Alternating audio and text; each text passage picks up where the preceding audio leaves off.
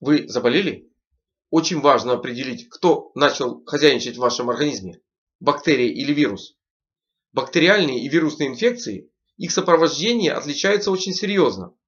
Как и те действия, которые вы обязаны совершать для того, чтобы выйти из инфекции с хорошим, надежным, мощным иммунитетом и чтобы эта инфекция больше не шалила в вашем организме. Поэтому я, врач, фитотерапевт, диетолог Борис Качков, подскажу вам, как отличить бактериальную инфекцию от вирусной инфекции и что вы должны делать в каждом конкретном случае. Итак, каждая вирусная инфекция и каждая бактериальная инфекция имеет ну, источник, имеет э, возбудителя, то есть бактерия или вирус. Вы не можете определить, какие бактерии и вирусы находятся в окружающей вас среде. Их очень сложно определить и очень сложно выявить, кто из них для вас самый опасный. Поэтому, в принципе, теоретически болеть человек может, он будет болеть, и каждая новая инфекция, она будет вызывать заболевание. Важно что? Правильно сопроводить и оставить о ней хорошую память в виде антител, тогда ни она, ни другие ее собратья больше вас касаться не будут.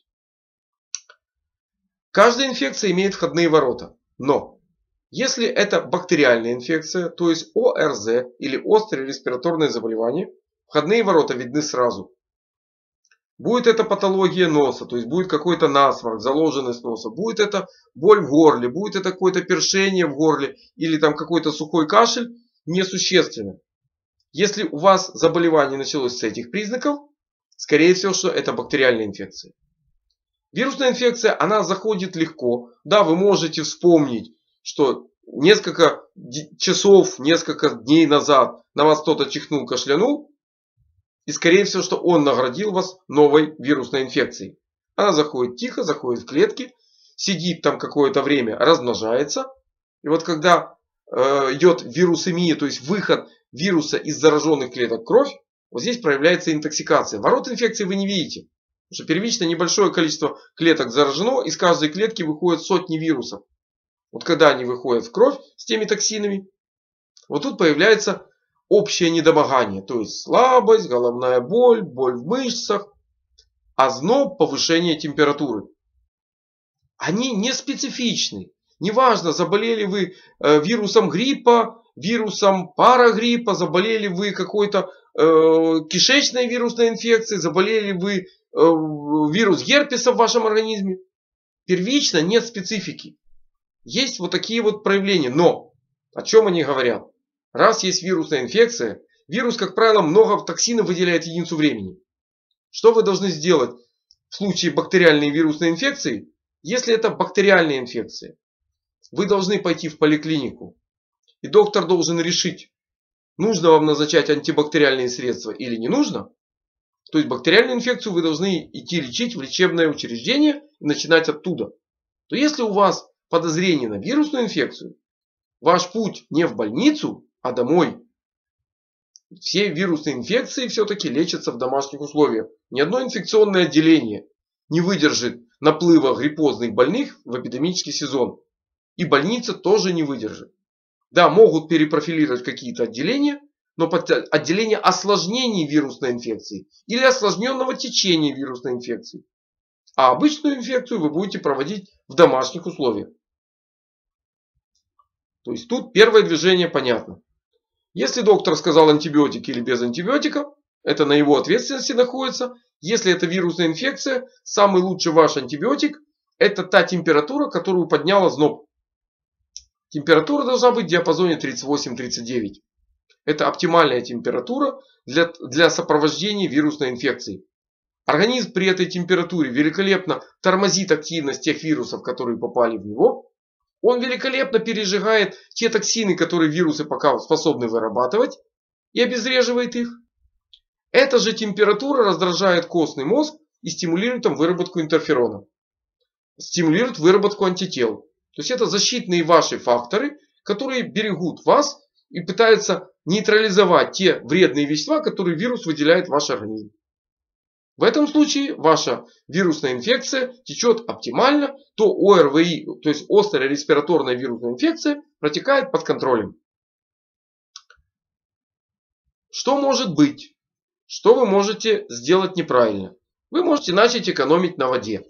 Да, вода это здорово, но лучше действительно экономить на воде, но не экономить на жидкости. То есть вы берете чистую хорошую воду, разбавляете в ней какое-то домашнее варенье.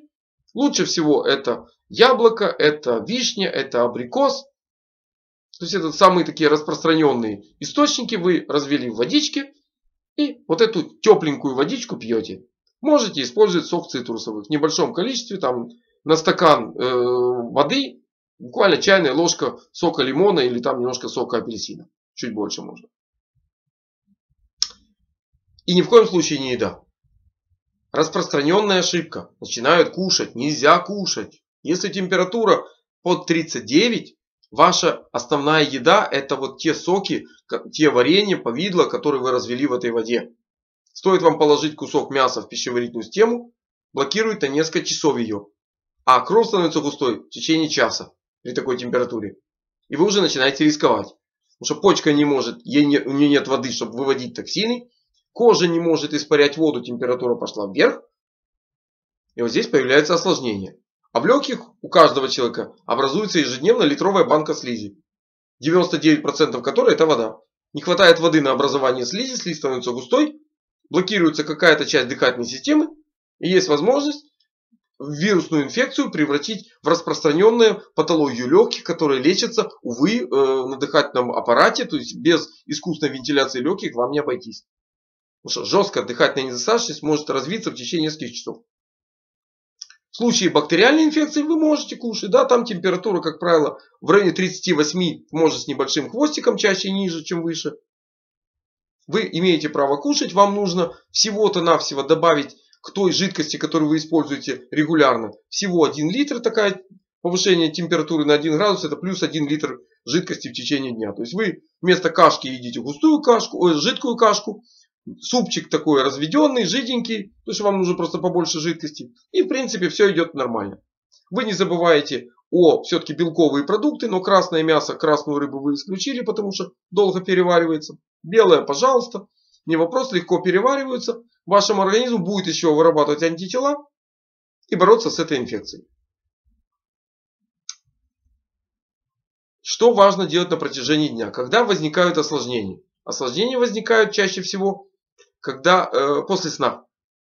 Почему? Потому что ночью человек и не кушает, и не пьет. А температура есть, она испаряет воду. Кровь становится гуще, и вот тут осложнения могут быть. Поэтому если при бактериальной инфекции вы хотя бы один раз за ночь должны проснуться и выпить стакан какой-то жидкости, там какой-то компотик тепленький, выпили, все прекрасно. При вирусной инфекции вы обязаны пить воду, пить жидкость каждый час очень быстро испаряется вода и очень легко попасть с утра на осложнение. Поэтому это принципиальный момент. Как вы можете осложнить жизнь бактериям вирусом, если инфекция вирусная или бактериальная сидит в области горла? Легко и просто. Йоговская поза льва. То есть можно порычать на себя любимого в зеркале. Можно взять любую плоскую поверхность, там тарелку, э, блюдце, семейное блюдо, не вопрос. Можно даже стол намазать. Размазываете мед или любое густое варенье без косточек. И вылизываете. Когда вы вылизываете языком, напряжение в области корня языка, сюда пришла свеженькая кровь с теми самыми лейкоцитами, с антителами. И активнее идет борьба с бактериями или с вирусом, без разницы с кем. Хотите добавить, вот при бактериальной инфекции, можно к меду добавить какие-то антибиотики. Вы можете использовать сок лука, чеснока, сок э, моркови, свеклы. Можете использовать настойку из э, березовых почек, из почек тополя, из настой, настойку из цветов календулы. Несущественно, что у вас есть, одну каплю. Капнули в чайную ложку меда, размазали по тарелке и вылизываете. При вирусной инфекции антибиотики добавлять не стоит, особенно в начальных стадиях. Просто там нет э, вот эти активные вещества, фитонциды лекарственных растений, они э, не бьют вирусы, они не трогают их. Поэтому э, такое расширение может быть, как, если вы подозреваете, что вирусная инфекция осложнилась бактериальной. Да, тогда возможно. Если нет, ну, можете использовать, может нет, толку э, э, особого не будет, конечно, но если вы хотите, считаете, что вам это не повредит, делайте. Что еще важно? Важно, э, важен результат. Важно не торопиться. Знаете, говорят, Спешка нужна только при ловле блох. Да, они быстро бегают. Вот при э, инфекциях спешки не должно быть. Знаете, есть хорошее выражение, что леченая простуда это неделя, а не леченая это 7 дней. Вроде как 7 дней больше. Но по часам примерно одно и то же. Не стоит торопиться заканчивать э, заболевание и побыстрее бежать на работу. По одной простой причине. Температура это великолепный индикатор, который показывает, что в вашем организме таки есть бактерия или вирус. И организм на это реагирует повышением температуры. Оптимально, если диапазон 38-39, хуже, если при бактериальной инфекции ниже 38, то есть организм слабенько среагировал на инфекцию, а при вирусной инфекции, если хуже, хуже, если выше 39, там 39,5. Это плохой диапазон. Но все равно температура не будет организм повышать температуру просто так. Есть бактерии или вирус, их нужно тормозить, тормозится это все температурой. Она создает им непреодолимый барьер.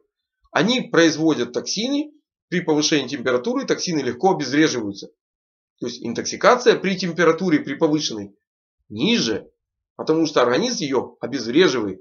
Сбили температуру, и как вы себя после этого чувствуете плохо?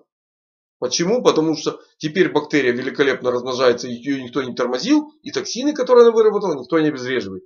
Вот вам и плохо. Терпеть здорово, но это неправильно, потому что это путь, великолепный путь в осложнение. Поэтому температуру сбивать не нужно. Более того, вот эти первые 5 дней инфекции активно работает интерферон и в это время обязана быть повышенная температура. Как только интерферон вышел в нужном количестве, антитела вышли, инфекцию затормозили и реально через неделю или через 7 дней, кому как нравится, человек выздоровел. Но выздоровел с великолепным иммунитетом. Если вы что-то делали неправильно, температура может снизиться. И вот здесь на низком иммунитете может появиться, как присоединиться какая-то бактериальная инфекция. И несущественно с чего начинали, вирусная или бактериальная инфекция, здесь может быть вторичная, но уже бактериальная инфекция. Вот здесь, если такая ситуация, не дай бог, произошла, да, в любом случае ваш путь в больницу, ваш путь за антибиотиком. Доктор должен определить, какой антибиотик вам нужно назначить. Потому что, как правило, после 7 дней это уже осложненное течение ОРЗ или ОРВИ несущественно, там уже есть, как правило, бактериальная инфекция. И очень важно ее своевременно подавить. Но если вы все делали правильно, я вас уверяю, у вас не будет вот этого повышения температуры. Это нужно быть таким неудачливым, чтобы при правильном сопровождении поймать вот там вот еще какую-то новую бактерию и э, повторить заболевание. Вот. Поэтому делайте все правильно. И принципиальный момент это количество жидкости.